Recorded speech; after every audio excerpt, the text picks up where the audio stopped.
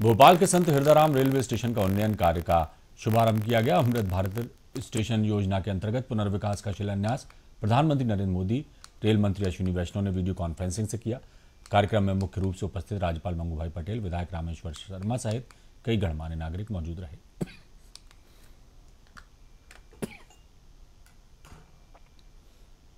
Railway स्टेशनों के पुनर्विकास शिलान्यास कार्यक्रम में शामिल होकर मुझे बहुत प्रसन्नता हो रही है। मेरी ज़िंदगी में ऐसा मौका मैंने नहीं देखा। एक साथ में 508 जितने रेलवे स्टेशन का पुनर्निर्माण पुनर्विकास आपने कभी नहीं देखे होगा मेरी उम्र वाले जितने भी होंगे उसने भी प्रसंग नहीं देखा होगा। कुल खर्चा कितना है? पच्चीस हज़ार करोड़ रुपया। और मध्य प्रदेश के लिए भी देखो, एक साथ में चौतीस ज़िले रेलवे स्टेशन का जीर्णोद्धार होने वाला है, अभी थोड़े ही दिन समय के बाद प्राइम मिनिस्टर उनका भूमि पूजन करेंगे।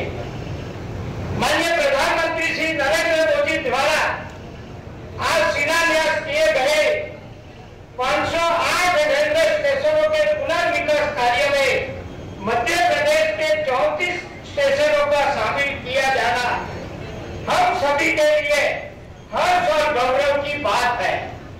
प्रधानमंत्री नरेंद्र मोदी जी कर रहे हैं, दोनों हाथ उठाकर ताली बजाकर माननीय प्रधानमंत्री जी को हम हृदय से धन्यवाद ज्ञापित करते हैं उसमें हमारा भी एक रेलवे स्टेशन रामनगर है और महामहिम राज्यपाल जी महोदय का भी समय हमको मिला वैसे तो कभी भी जब भी संत नगर बुलाता है या भोपालवासी बुलाते हैं प्रदेशवासी बुलाते हैं मैं ये कह सकता हूँ कि हम लोग भी राजनीतिक क्षेत्र में पच्चीस तीस साल से लगातार काम कर रहे हैं।